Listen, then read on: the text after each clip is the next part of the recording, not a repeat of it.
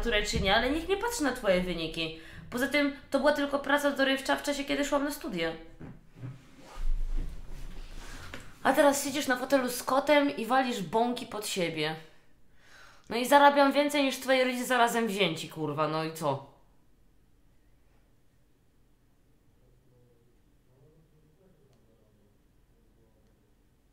Bo nie wiem o co się prujesz.